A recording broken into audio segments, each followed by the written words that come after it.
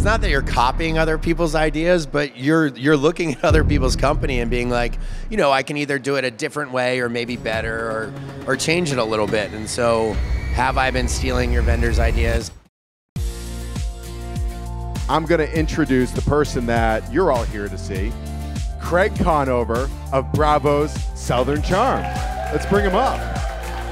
Hey everyone, thanks for having me. This is great.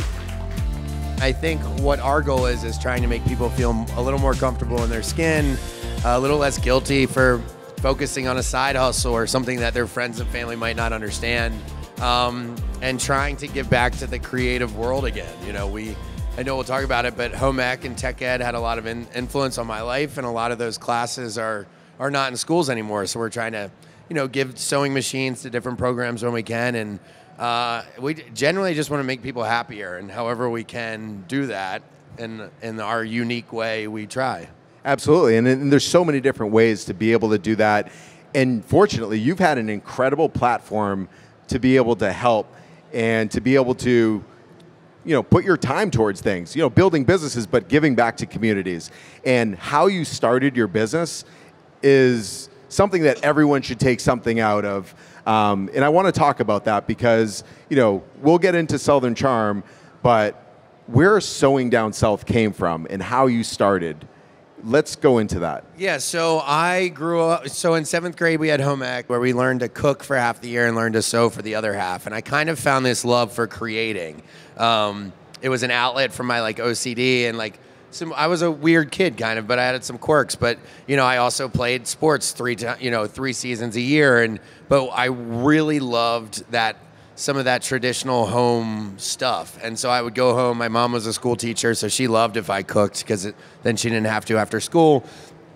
And I really focused on gardening and cooking when I was younger. And then I was going through a breakup like six or seven years ago. And when I left the house and left my garden and workshop behind, all I had was my sewing machine. And I thought I would make clothes, but I had never been taught how to make clothes, and it was really difficult to make clothes. And I, le- I remembered how to make a pillow. And so I tore up an old shirt and sewed it into a pillow. And when I turned it right side out, I just got this kind of this thrill, this high. And I posted a picture of some of the pillows that I had made on Instagram without making it too obvious. And the response was great. And I was like, you know, this might just be unique enough to work. And so that ended up with me putting all my effort into sewing, but not knowing how to turn that into a business. And so I had a room full of pillows and an inbox full of messages trying to buy them from me, but I just could not get out of my own way. And that's when my partners came into the picture. So Jerry, who's here, he we went to college. Jerry, together. you can raise your hand. We'll give you some credit. He's my babysitter, but uh, and my better half, uh, and agent. But him and uh, his sister-in-law came into the picture, and they were like, "Look, Craig, I think you have something here, um, but we want to split the business with you." And you know, you're always told not to give up your company, but in this case, my dad was like, "Do you want all of nothing, basically, or a good piece of something that might really work?" And so we we split the company in three ways, and all of a sudden we had a real business. And that's kind of when the fun challenges started. But you know, I tell people no one thought it was a good idea, and that's what you have to remember because a lot You of saw people it on the show. I mean, you, there was people telling you that you're crazy, don't do it. Yeah, and so I think a lot of people, I mean, COVID helped a lot with this, but a lot of people started to spend time on their side hustle and felt a little less guilty doing that. But some people might think, like, well, if it was a good idea, someone else would have already done it, which is something that I thought. Or, like, maybe this isn't a great idea because I'm the only one who thinks it's a good idea. So, fortunately, I had my parents to support me emotionally, but I mean, they didn't know where I came from anyway. You know, they didn't expect their kid to end up on a reality show after law school and now start a sewing company. Um, but you know, if no one else thinks it's a good idea, it might actually be a really good idea. So don't keep that, you know, don't let that stop you. And the other part is when you're starting a business, you know, there's a lot of investment, not only time, but money. Um, how did you get to that point where all of a sudden, you know, you guys are manufacturing a lot of pillows and you have stock, and that doesn't happen overnight? Yeah, so that was something, some wisdom that our partner uh, brought to the table. I was fortunate enough that I could put time into sewing and starting this company with the security of the show. You know, I still had my income from the show, so it wasn't as risky, but I was leaving law behind for it. I thought that we would have to put in money or raise money to start the company, but actually we didn't at all. We only put in $1,000 each uh, because you kind of have to paperwork wise. But what we did was we would we didn't carry inventory in the beginning, so we would actually sell a pillow before it was even made. So we would charge the customer and then order it from our manufacturer. And at that time, we didn't have to pay the manufacturer for 60 days after we ordered it. So by the time we would even receive the pillow from them and send it to the customer, we would have already had their money. And so we get a lot of questions like, I don't have a lot of seed money, or how can I start my business? But with tricks like that, which I would have never known, like I didn't know what net 60 meant without bringing in a partner, um, you know, there's a way to do it.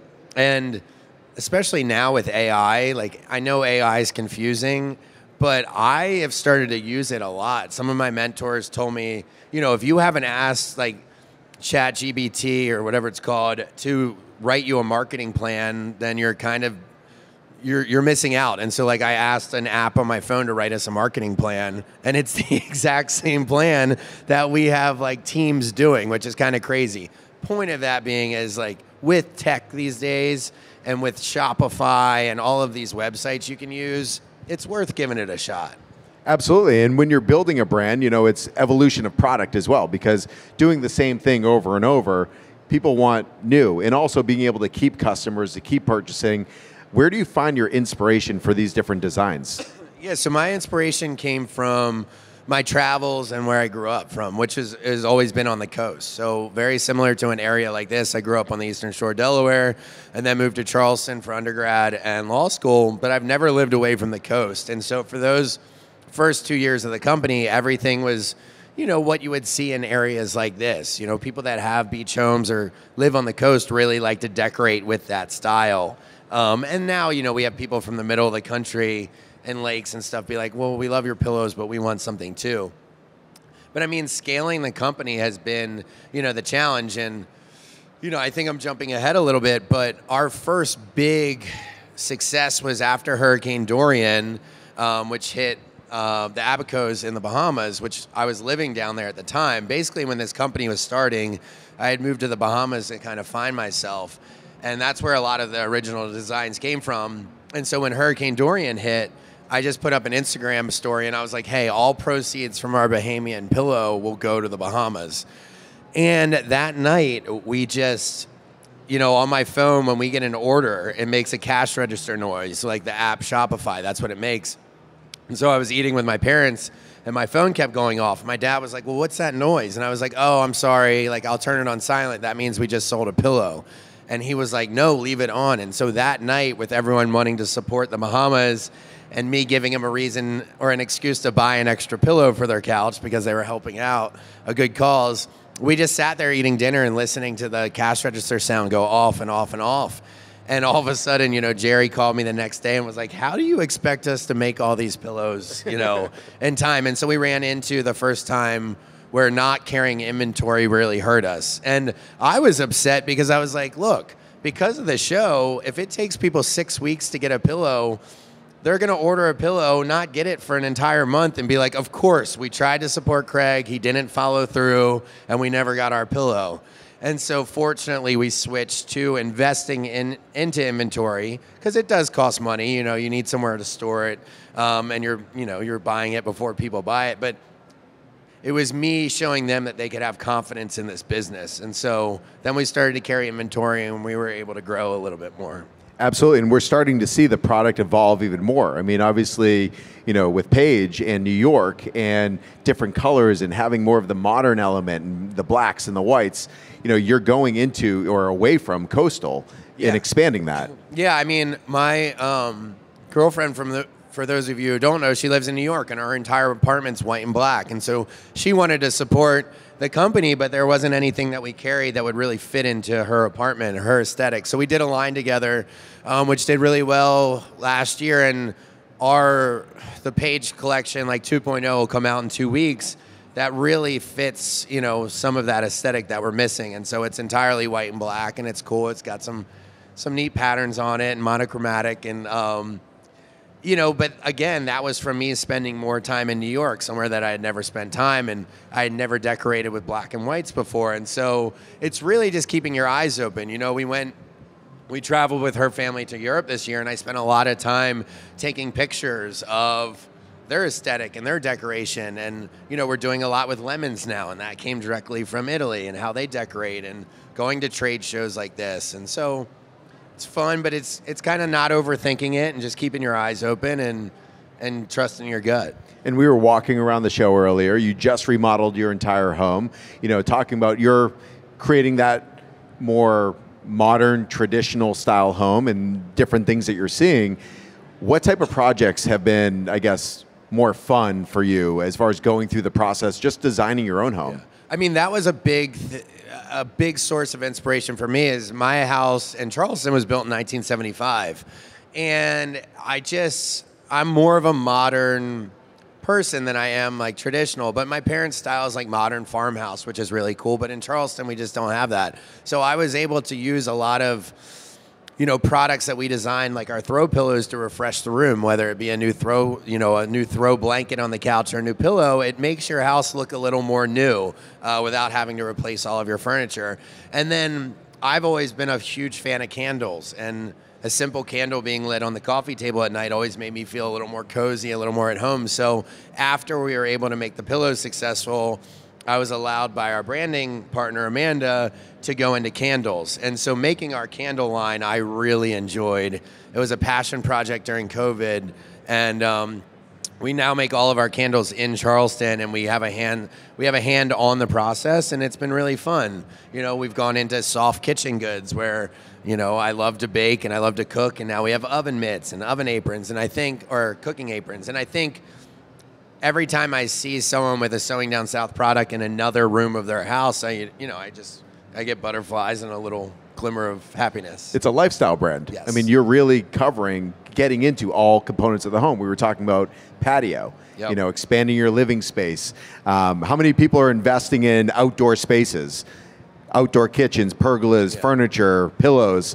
You know, let's talk about. Well, and we saw that a lot during COVID, uh, right? You know, a lot of people were like, why not make our house somewhere that we feel like we're on vacation or a little cozy corner, a little patio outside? And I think people started to appreciate their, I mean, everyone likes their time at home, but they didn't necessarily had to travel to get that comfort anymore. And so we went into outdoor living. And so we've got a whole line of outdoor pillows now. You know, they're completely weatherproof. They compete with um, Sunbrella. And, you know, we made a lot of the outdoor pillows you would find at Lowe's or Home Depot. They just, they were okay, but they weren't great. And I think we added some fun to it. So now we want to get into outdoor furniture, but you know, it's hard for me to come up with new products without, you know, coming to expos like this and seeing it's not that you're copying other people's ideas, but you're you're looking at other people's company and being like, you know, I can either do it a different way or maybe better or or change it a little bit. And so have I been stealing your vendors' ideas? I'm not going to admit to that, but no, I mean it's it's great. It's great for inspiration. and it gives you it shows you what works you know Yes. people are selling it there's a demand um, and you know through the conversation we're talking about all different levels of inspiration from places you travel people that you are with day to day Um, is there whether a mentor a celebrity somebody in particular that you look up to in the sense of business or where you want to go in your life I mean, my goal has always been to be the male Martha Stewart. Like, I think what she did was great, and I, you know, I wanted to have like a store like Williams Sonoma and be able to make my own, you know, cooking appliances, stuff like that. But I mean, she's done such a great job, and I mean, her friendship with you know Snoop Dogg makes me laugh all the time. Like, she just who would have thought yeah, she made you know she she makes keeping like a good home cool, Right. um, and she does great books on how to like like you can you know I don't know how to fold a fitted sheet or I didn't until I googled how to fold a fitted sheet and Martha Stewart has a video online showing you how to do it and so I I have looked up to her I've never gotten to meet her and I don't think she knows who I am but hopefully one day I'll be able to. Um, and, uh, you know, we've talked a little bit about people like Ryan Reynolds, and he has started to take equity stakes and, you know, instead of, you know, upfront payments and all the businesses that he's getting into, and I think that's been really cool. You know, he was able to buy a soccer team and and increase its value 10x within a year. So, you know, I just I, I think people like that has been really cool. No, and it's important to see how and what other people are doing because it's a matter of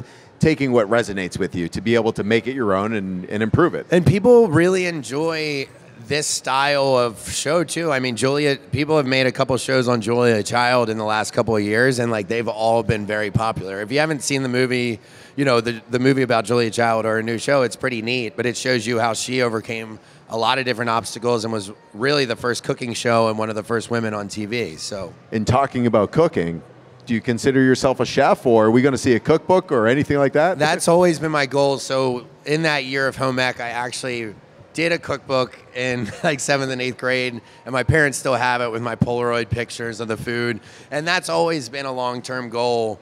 Um, but I had to establish myself a little bit, and I had to build up credibility in this space. And I think we've gotten to a point where I would like to start to work on one. And I think I might bring in friends from TV um, that I've met, and maybe if they have a family recipe that they really love, they get to come teach me their family recipe.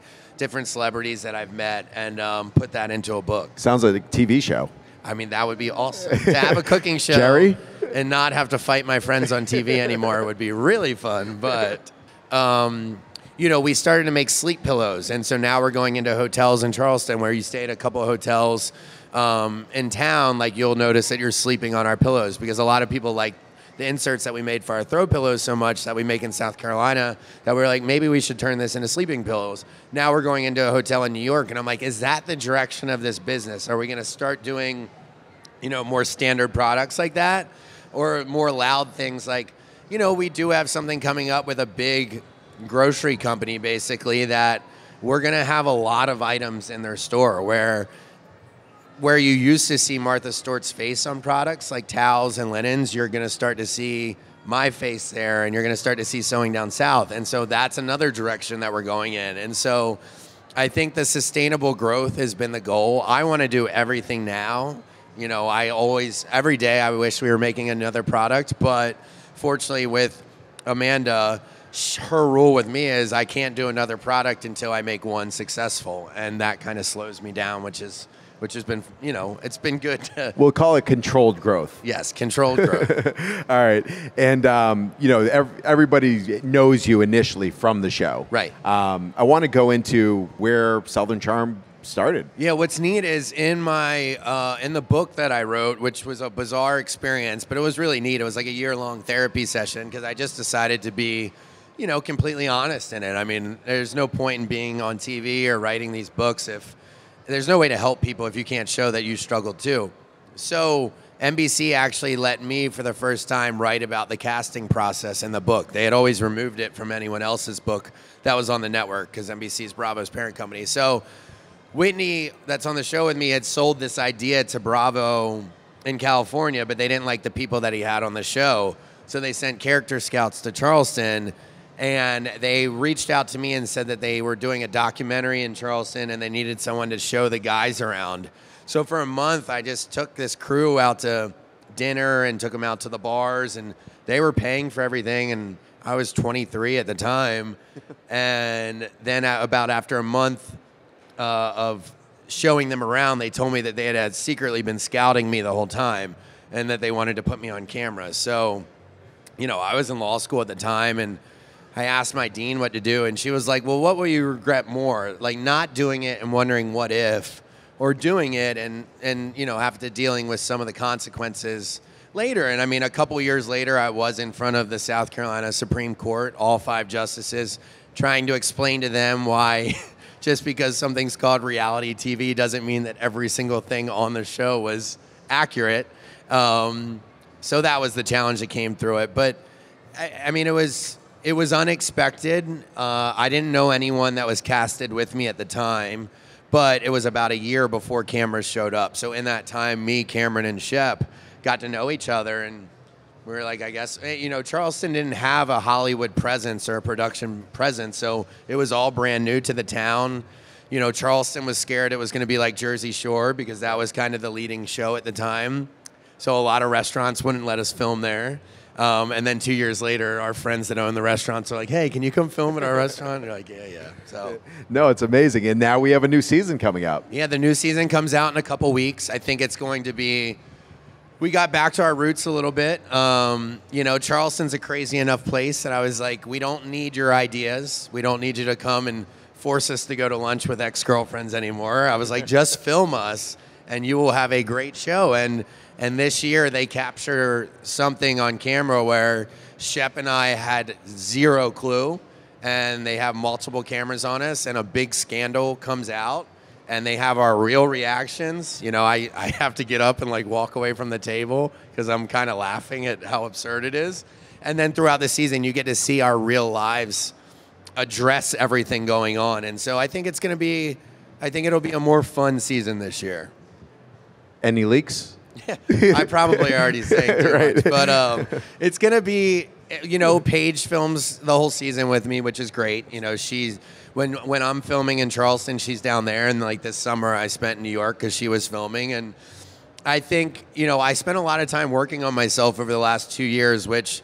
You know, even though I got mad at other shows that we had been on, on maybe like the editing or stuff, it makes you really focus on yourself and be like, look, your message a lot like my friend Sierra told me she was like your message a lot of the times is correct Craig but it always gets lost in your delivery and so I said well how do I work on that and I was like well maybe if I stop you know maybe if I stop drinking so much and maybe if I got healthy I wouldn't explode on people and so this is the first season in a while that I'm not stressed about it coming out because the only person I yell at is Shep, and I think everyone can understand that. Um, and I really deal with my issues a little better. And so, what you'll see this season is me working on myself, me working on, you know, becoming a part, a better partner for my girlfriend, and it's exciting. Um, you know, there's been other seasons where I was, you know, I left the country when the show came on because I couldn't deal to face, you know, what had happened on it. But this year we get to sit off to the side and really just gossip about everyone else. So No, that's all. Do you look forward? Will you actually watch every season, single episode? this- well, I say I will now. We'll see how stressed out I get. But yeah, I'm excited for it. I think it'll be fun. I think you get to see a lot more of the company and uh, a little more deeper look into our lives. all right. And with that, I, w- I want to kind of open it up to you guys. Does anyone have a question Yeah, we love that I can come down and? Uh. I saw a lot of hands earlier. Here you go. Hi, Craig. Hey. So nice to meet you. You too. Um, I'm very proud of you, by the way. I just, Thank you. Really, you've done a great job. I want to know what does Naomie think of your sewing now? You know, I do have to give her credit. Um, after her breakup, you know, in New York, she did send me a message that basically said everything that everyone would want to hear. So it was like, you know, you were right, and I'm sorry, and you know, congratulations on everything. And you know, I told her what I tell a lot of people that come to the store is that you know, it all happens for a reason. Like it sucked at the time, but through that strife, you know, it really gave me, you know, a kick in the butt to to get to where I was. But um, you know, she was she was very nice about it. So, but yeah, so that happened. Any other questions over here? I know that there's questions. you can ask. No? You want to ask a question? Hi, Craig. Hey, I'm an adamant fan. I watch your show regularly. thank and you. Along with Paige's show. Do you actually think she'll ever move to North Carolina? Well, what's funny is she's probably within earshot at this point of speakers. Um, I think you'll get to see on both Southern Charm and then the new season of Summer House is, is us figuring out how to not let those future decisions kind of ruin the, the moment that we're living in. Um, there's a level of it's not delusion because I know one day we'll have to face that, but we really what we do now works. And until we have kids, I don't think that we have to face that. I mean, of course, my hope is that she comes down and she was able to design a lot of the new house and make it feel like home.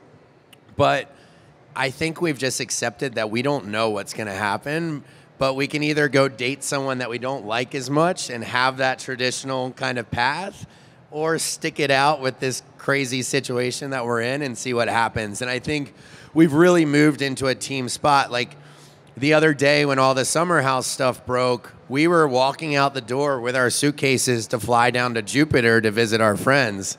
And I was in the hallway of our apartment in New York with our suitcases, and she's like, Craig, I can't go anymore. I have to film tomorrow. And I like threw a fit. I was like, I was had suitcases in my hands. I was like, your filming was supposed to be over. We're going to Florida. And she's like, Well, Craig, I have to film. And what we what what was really awesome in that is that we realized that we're not arguing against each other anymore, but that we're actually on a team. And even though we were frustrated with the situation, that's who we were like kind of mad at. We weren't mad at each other. We were frustrated with the situation. So I think we're we're really learning how to be a team and and and and see each other as a partner instead of you know the adversary. So it's been nice. But yes, I I think probably one day. Yeah. Well, we'll always have a place up there, but Hey, Craig. hi. Um, so yeah, Paige was right. Just throwing that out there if she can hear me. You were totally right. um, also, uh, any plans on any other uh, Sewing Down South locations? Yes, actually, we do. Um, we will be opening a store, our second store in Nashville uh, next year, so next spring. So we would love to come to South Florida. We do love it down here, and you guys fit into everything that we do. But Nashville has a very similar foot traffic as Charleston, and Nashville is just so big that it would be hard not to test a second location there. And what we've done is, I used to think it was a little cheap, but it's not. But we've started to do merchandise where, like, we make stuff that says Charleston now, and so now you can buy something from Sewing Down South, but also get a Charleston souvenir. And I don't, I don't mean like not cheap, but I thought it would be too. E- I don't know. I just didn't know if that was the right direction, but it really works. And so now I think in Nashville, if we sell stuff that says Nashville, Nashville attire, Nashville merchandise, it'll do really well. So that's the second location that we're going to test. Hey, Craig. Hey, what's up, man? So, uh, my parents are moving to uh, South Carolina. Uh, other than Charleston, what's your uh, favorite places to live South Carolina? Um, I really like Greenville a lot, like out where Clemson is located. Greenville's a great city. It's up and coming. Um, Columbia's great. You know, the big cities. I mean, Pawleys Island is awesome. Um, did you mean South Carolina or anywhere else? Yeah, South Carolina. You know, it's funny because a lot of people think one, you know, South Carolina can fall into a stereotypical like southern state kind of persona, but Charleston is a kind of a transplant city. So there's a lot of people from the Northeast there. There's a lot of people from Florida. And I think some of the other towns like Greenville are like that. I like to travel into the country a little and like if Shep takes me to one of his farmhouses to like go bird hunting, which I don't know what I'm doing. Like it's fun to see that stuff and to meet everyone, but I really like the more metropolitan areas of South Carolina, which really still don't feel like a city. It still feels like a big beach town, but I'd say like Greenville, Pawleys Island. Um, we make uh, what is um, there's a, uh, a town called Beaufort, which we make a lot of our pillows, and Beaufort is beautiful. It's kind of they have tomato farms, blueberry farms, and we have a factory down there, so I get to go down there a lot, and that is a that's a hidden gem, Beaufort. We have a question here. Hi, Craig. Hey, In your opinion, what are the top three challenges a new entrepreneur entrepreneur will face? Um, I think getting started, uh, for me, it was always making that sale. Like I had the demand, but I didn't know how to convert it into an actual transaction, um, like a real business deal. And so when we we finally got onto Shopify, which they do a good job, and it really doesn't cost any money. They take you know a small percentage out of your sales and figuring out how to actually ship something to someone, which we use ShipStation for that, and it prints the label for you. And I remember when we packed the first box and sent it, I was like, okay, now we have a business. Um, scale like scaling has been has been hard because I was like, well, how do we turn this into a real business where you know one day I can use this as my primary income and still coach my kids' teams and make it to recitals and stuff. So I think scaling, um, and I think like believing in yourself. Like I said, I mean, I everyone just told me not to do it and that it wasn't a good idea. And it wasn't until I found, I mean, fortunately, I, I, I thought it was a good idea, but bringing in two partners is what saved me because they had the expertise to be like, hey, there's a way to test this business out and not put any money into it. And that's where Jerry was like, there's a way to sell a product by having someone else make it for you and do like a net 60 payment program with them. And, you know, we only sold like nine pillows a day for that first month and second month. So we weren't losing money, but we weren't making a lot. But we were able to figure out how to test the business. So for me, that was the beginning challenges. And um, I just wanted to come back up and ra- we'll wrap this up soon. But talking about also other things that you're getting into and really evolving, because from every aspect of your life, it's like a constant evolution. And even your podcast, Pillows and Beer, where you started and where you're going and where you are now, you know, it's inspiring. And and where do you see that going? You know, as well, far as and it's such a. I'll just tell you the truth, but it's it's not a like sexy answer, but I just started to wake up and do physical activity in the morning, and it changed my whole life. I mean, it it was I was able to cut my drinking by ninety percent. All of a sudden, my energy was through the roof, which is kind of driving him crazy because every day I have like a new idea now, and it was really just working on my physical health of even just going outside and walking around if I didn't feel like it has changed a lot. And then, sorry, what was the question? no, no, just well, I was talking about Oh, because Pillows and Beer. Pillows so Pillows and yeah. Beer started as it was a drinking podcast, and we would just, you know, we would get buzzed with each other and talk about nonsense, but there was no sustainability in that because I, I didn't re- like I, I really wanted to become a better like adult.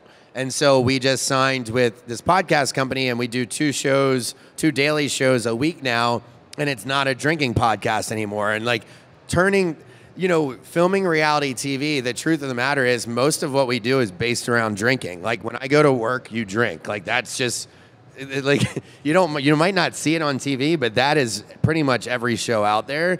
And so breaking that habitual behavior of being like, "Oh, I have to go film a scene today." That doesn't mean I have to get drunk or like I'm going to do a meet and greet. That doesn't mean I have to drink. Like I'm going to film a podcast. I don't have to drink. And so it's not a struggle that everyone deals with, but breaking those habits and like kind of growing up a little more, which I'm 35, so you're like, of course you should be grown up. But, you know, tomorrow's the next day of the rest of your life. And I had a lot of regret and used to to uh, be mean to myself by being like, you should be so much further along than you are.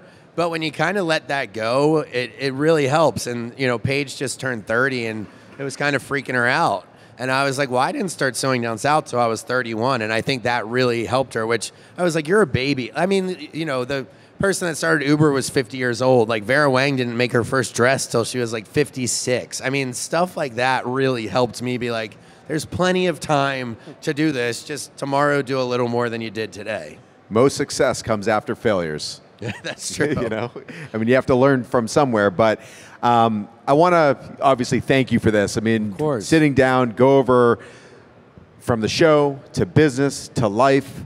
You know, let's all give a round of applause for Craig. Well, thank, you, so much for being me. here. Yeah, I really appreciate it. Um, it's fun. You know, I, I still get nervous to do this stuff, which is hilarious because it's been like a decade of filming, but it's really fun to see you guys and to, to tell the story and um, to still be a part of this world. Uh, life after reality TV. I don't know what that looks like, but it. It'll be a funny adventure. I mean, hopefully that's not starting yet, but, but no, there's here. there's a lot more to see There's a lot in more all aspects see. of life. Yes. But thank you all for joining. Um, we're going to be right over where the step and repeat is over there. If you'd like to take a yeah, picture. if you guys want to come take a picture or something, I'll be right over there. So thanks for having me all.